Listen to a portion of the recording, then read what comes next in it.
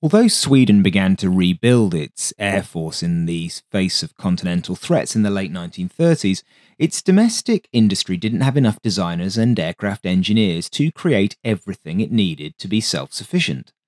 The Air Force's initial policy was therefore to focus Swedish design teams on bombers, while purchasing monoplane fighters from the US. But from May 1940, obtaining any aircraft at all from foreign suppliers became impossible, as every country wanted all of its domestic production for itself. So, in November 1940, the Air Board agreed with Saab that they should start developing a fighter aircraft. As it happens, the last aircraft designed by ASJA, one of Saab's precursor organisations in 1939, had been a monoplane fighter, powered by a Bristol Taurus. Contemporary sketches show this driving contra-rotating propellers, but some historians suggest that a pusher concept with twin booms was also considered. I've not come across any pictures of this, but when the new L 21 project was presented to the Air Force by Frid Wanstrom in April 1941, the power plant was a Swedish built version of the Daimler Benz DB605B of 1475 horsepower, unconventionally mounted in the rear, driving a pusher propeller. The tail unit was supported by twin booms, which also housed the main undercarriage. 13.2mm machine guns were sited in the front part of the booms. Otherwise, the armament was concentrated in the fuselage nose, which housed one 20mm cannon and two more 13.2mm machine guns. Amongst other technical innovations, the aircraft was the first in Sweden to have a nose wheel undercarriage. As you might expect, there were initially quite a few technical uncertainties in the project, such as how the engine could be cooled on the ground as there was no propeller slipstream. Similarly, the team wondered about the effect on control characteristics on the ground with the rudders outside the propeller slipstream. The nose wheel undercarriage was untested, and Sweden's airfields were grass, so there were reasonable questions about how durable it might be. An innovative gunpowder propelled ejector seat was also fitted, but the team needed to prove to the Air Board that it could provide the pilot with sufficient clearance of the propeller in the event of a bailout. The uncertainties prevailed for some time, and in October 1941 the Air Board stopped the initial project work ordered in April. Instead, Saab was instructed to start project work on a more conventional backup design.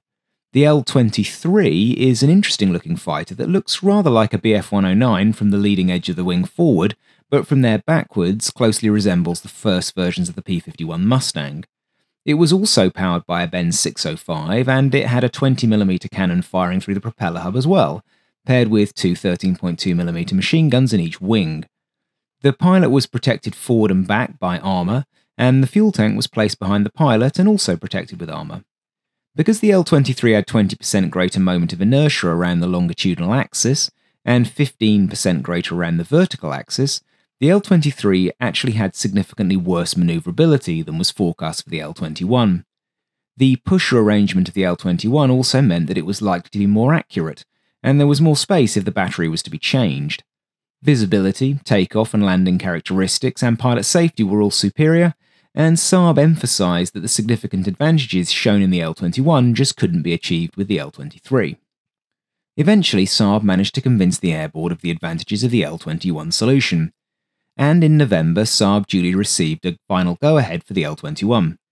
A mock up was approved on the 8th of July 1941, and on the 5th of December 41, the project was handed over to the design office in Linkoping for materialisation. Chief of the design office was A.J. Anderson, who had been a key figure at Svenska and then worked with Bücker in Germany for some years before returning home. Hard work enabled the technical problems to eventually be solved. Ground cooling was arranged by installation in the inner wing of two cooling fans driven by the engine via a mechanical gearbox. The fans rotated at 13,500 RPM when the engine RPM was just 1800. The fans were automatically disconnected in flight. But the overheating issues were never resolved, and engines of production fighters would constantly overheat on the ground unless their taxiing was very carefully managed. The ejector seat, the first of its kind at the time, was a major developmental task. Initial ground tests with a wooden dummy were followed by flight tests using a Saab 17 in February 1944. The tests were very promising, and the first J21 prototype was equipped with an ejector seat from its first flight, prior to the testing being completed. In fact, in August 1946, Junior Lieutenant Bengt Johansson abandoned his damaged Saab at an altitude of about 2,000 metres, becoming the first person in the world to eject from a production combat aircraft. He landed safely in the Baltic, and he was picked up by a destroyer. In fact, there were 25 subsequent ejections from the J 21, and 23 of them were successful, proving the designer's confidence was not misplaced. The new tricycle undercarriage required another major development effort. To validate estimates made on the geometry, nosewheel shimmy, and so on, a test rig with the same mass as the aircraft was built and towed behind a car under various conditions. The next step was the conversion of an SK 14, otherwise known as a North American NA 16 4M trainer, to a tricycle configuration. These tests were successful and they removed all remaining doubts about the idea. The central nacelle was strongly built, with welded steel elements to take flight and mounting loads, particularly where the tail booms joined to the wing. In an interesting historical echo of Swedish cars to come, a robust crash and armour cell for the pilot was deliberately developed. 5mm and 8mm armour plates were fitted to protect the pilot and the fuel tank, which was placed aft of the cockpit. The J 21 was not a pure monocoque all metal aircraft. Rather, it used a primary structural frame of steel tubing with plywood or plywood type skinning in places, and conventional metal skinning only in the tail booms and the wing. The forward nose was aluminium framed, as were the tail booms. This mixed material approach was common in countries with limited access to strategic aluminium supplies, or to speed up production using skilled woodworkers. To achieve the high speed required for the new fighter, a new wing profile had to be developed in order to reduce drag and to maintain laminar flow over as much of the wing area as possible without losing too much lift. The wing profile was developed at Saab and extensively tested in the wind tunnels at the Aeronautical Research Establishment and the Royal Institute of Technology, both in Stockholm. It proved very successful, while the interference drag of the tail booms was considerably less than that of conventional engine nacelles. For reference, it was a two spar wing with an aluminium leading edge and plywood trailing edges. The main landing gear legs retracted rearwards into the tail booms, which were structural members sized to take landing loads and gear loads as well as tailplane loads. That arrangement affected the boom's cross section, stiffness, and local reinforcement around the wheel wells. The flight testing confirmed early estimates by giving a top speed of about 15.5 miles an hour or 25 kilometers an hour higher than the guaranteed speed Saab had given the ministry.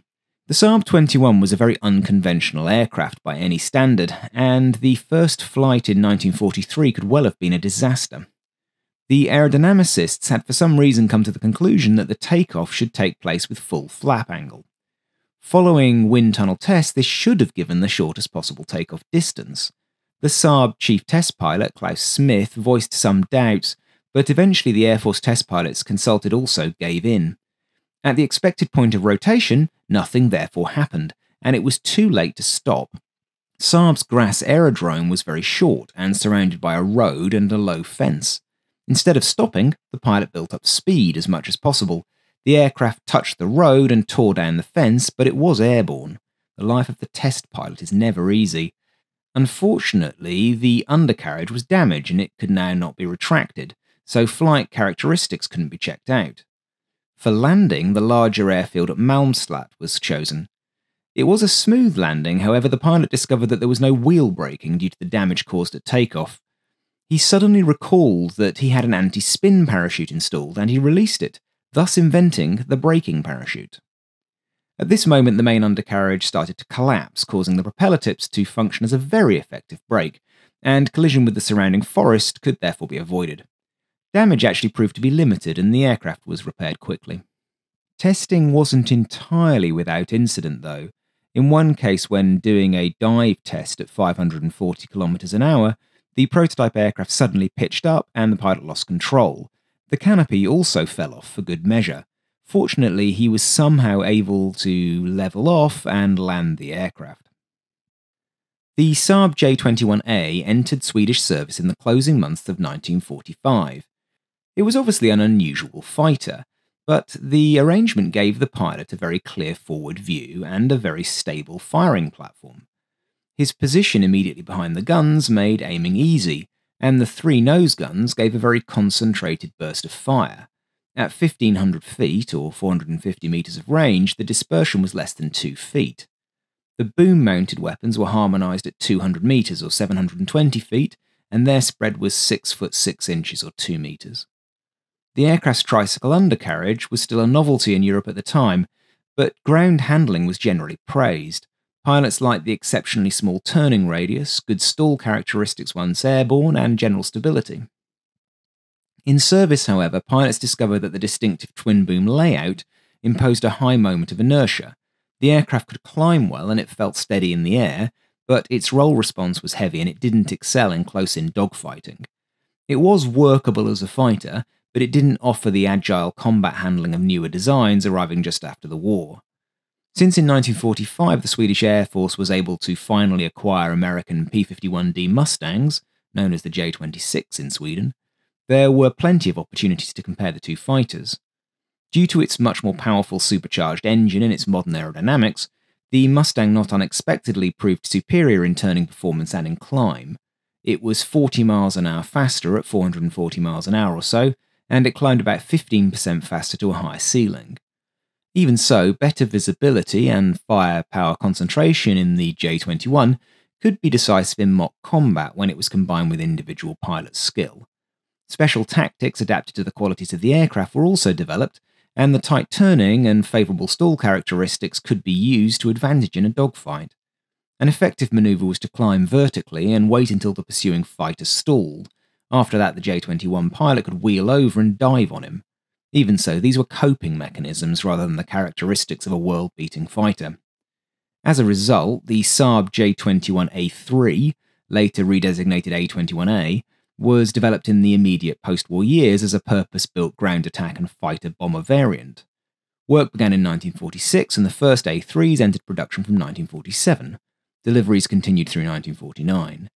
Structurally, the A3 remained the familiar J 21 airframe, but its equipment and mission fit were revised for attack work. Central to the new version was a sophisticated bomb sight based on Saab's own BT series mechanical toss or shallow dive bombing computer, design of which had begun in the early 1940s. It was conceived in house by Saab engineers, building on earlier Scania ideas to allow attacks from a shallower dive or a short toss maneuver so that the aircraft could release ordnance with less exposure to flak and fighters, and then pull away safely. As he ran in, the pilot fed the BT 9 with his intended airspeed and release altitude, selected toss or dive angle, and the target aim point as seen through his sight. The device calculated the correct release point for the chosen maneuver. It compensated for aircraft attitude during the final approach and provided the pilot with a ranging and aiming cue so that bombs or rockets would follow the computed ballistic trajectory. Accuracy in practice depended strongly on release parameters altitude, airspeed, the dive or toss angle, the wind, and the quality of target tracking during the aiming run. So, performance for a low level tactical toss would be different from a higher, shallow dive run. Contemporary Swedish commentary therefore describes the BT 9 as significantly improving hit probability for a shallow dive or toss profile. In operational terms, it transformed the A3 strike capability, though. It let the pilot use moderate approach altitudes, commence the final toss or shallow dive only late in the run to reduce exposure time, and still obtain useful accuracy against point and light area targets. The wings of the attack version were fitted with underwing pylons capable of carrying bombs and rocket rails. The A3 could be equipped with a range of ordnance. It could take bombs between 50 and 500 kilograms. Rocket barrages were standard when suppression of ground targets was required. To increase its punch, some A3s trialled auxiliary gun pods and heavier 57mm Bofors cannon installations in trials. Operational changes also addressed endurance and takeoff performance under load. The attack blocks routinely used larger 400 litre drop tanks to extend range on strike missions, and some aircraft were trialled with RATO assistance to shorten takeoff runs when laden with weapons. In service, the type proved well suited to the Swedish doctrinal tasks of the late 1940s. Its stability and pilot visibility made it an effective gun and bomb platform, while the rugged undercarriage and reinforced structure tolerated the rigours of dispersed operations and austere fields. But despite fitting well into Sweden's defensive doctrine, the J 21A remained in frontline service for only a few years. The Swedish Air Force moved rapidly into the jet age with the Vampire and then the home built J 29 Tunnan. By 1951, the propeller driven J 21A had been withdrawn from fighter units, with a handful continuing briefly in second line duties. In the end, the J 21A was a transitional aircraft.